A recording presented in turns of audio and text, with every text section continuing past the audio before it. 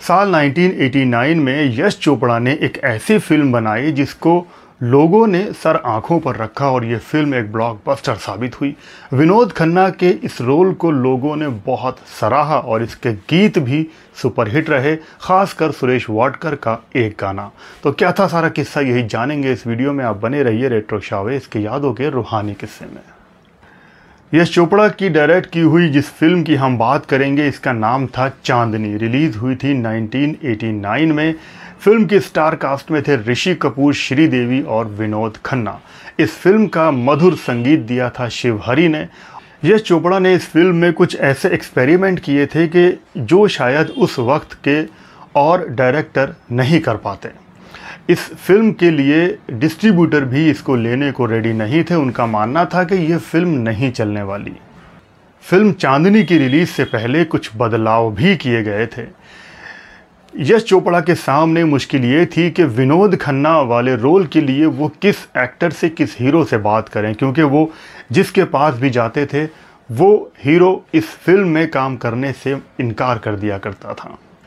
क्योंकि विनोद खन्ना का जो किरदार था, वो कुछ अलग था और फ़िल्म काफ़ी हद तक कंप्लीट हो जाने के बाद विनोद खन्ना के कैरेक्टर की एंट्री होती है और इस तरह से कोई भी हीरो इस रोल को नहीं करना चाहता था।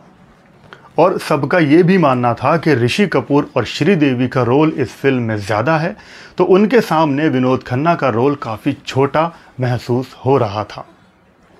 यश चोपड़ा ने बहुत सारे हीरो से बात की, लेकिन कोई भी इस फ़िल्म में ये रोल करने को तैयार नहीं था और यही यश चोपड़ा की सबसे बड़ी मुश्किल थी। यश चोपड़ा का पहला एक्सपेरिमेंट यही था कि फ़िल्म काफ़ी हद तक कंप्लीट हो जाने के बाद एक एक्टर की एंट्री होती है और वो विनोद खन्ना का रोल था। तब उन्होंने आखिरकार विनोद खन्ना से इस रोल के करने के लिए बात कही। विनोद खन्ना जी ने इस रोल को समझा और इसे करने के लिए हाँ कर दी। अब यश चोपड़ा की मुश्किल काफ़ी हद तक आसान हो चुकी थी। विनोद खन्ना ये रोल करने को रेडी थे। ये रोल था ललित खन्ना का। अब लोगों ने यह कहना शुरू कर दिया कि विनोद खन्ना इस रोल के लिए फिट नहीं हैं। उनकी इमेज एक एक्शन हीरो की है। वो इस तरह का रोमांटिक और शांत स्वभाव का रोल नहीं कर पाएँगे। लोग उनको एक्सेप्ट नहीं कर पाएँगे। और वो इस रोल के लिए फिट नहीं हैं। डिस्ट्रीब्यूटर्स ने यहाँ तक कह दिया कि विनोद खन्ना के साथ अगर तुम ये फ़िल्म बनाओगे तो ये फ़िल्म कभी भी हिट नहीं करवा पाओगे। लेकिन यश चोपड़ा अपनी ज़िद पर अड़े रहे। उन्होंने इस फ़िल्म को इसी तरह से बनाने का फैसला किया। जब फ़िल्म काफ़ी हद तक कंप्लीट हो गई, तब यश चोपड़ा ने इस फ़िल्म में कुछ बदलाव करने के सोचे।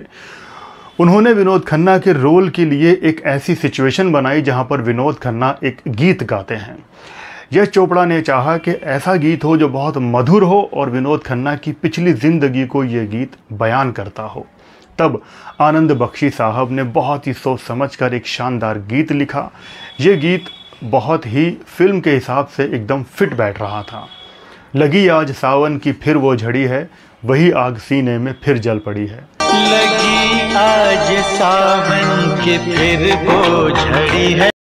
म्यूज़िक डायरेक्टर शिवहरी ने इस गाने की बहुत शानदार धुन बनाई और इस गीत को गवाने के लिए चुना गया था मधुर आवाज़ के मालिक सुरेश वाडकर जी को। सुरेश वाडकर ने इस गीत को बहुत ही लाजवाब तरीके से समझकर और बहुत ब्यूटीफुल अंदाज में इस गीत को रिकॉर्ड कर दिया। ये गीत बहुत अच्छा बन गया था।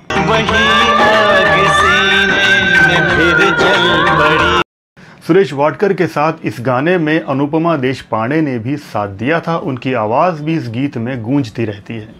और ये गीत विनोद खन्ना की पुरानी यादों को ताज़ा करता है। फ़िल्म बनकर रेडी हुई और इस फ़िल्म को रिलीज़ कर दिया गया। रिलीज़ के बाद इस फ़िल्म ने कामयाबी के झंडे गाड़ दिए और विनोद खन्ना का ये कुछ लीग से हटकर अलग तरह का रोल लोगों को बहुत ही पसंद आया। सुरेश वाडकर की आवाज़ में ये गीत लोगों ने बहुत पसंद किया, बहुत सराहा। वैसे फ़िल्म चांदनी के सारे ही गाने सुपरहिट रहे थे। अक्सर शादियों में आपको इस फ़िल्म का ये गीत सुनने को मिल जाता है।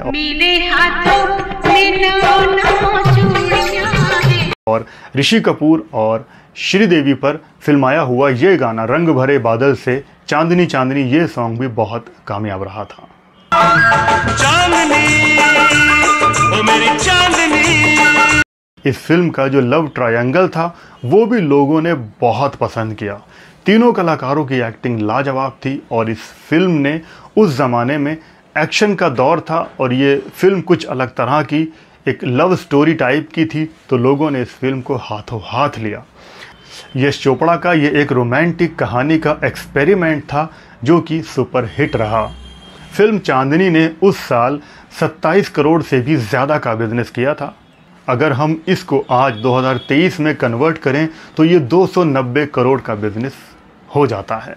तो ये पुरानी यादें थी जो आपसे शेयर करनी थी। वीडियो अच्छा लगा हो तो लाइक करना, चैनल पे नए हो तो सब्सक्राइब करना। आप लोग अपना ख्याल रखें और देखते रहें रेट्रो शावेज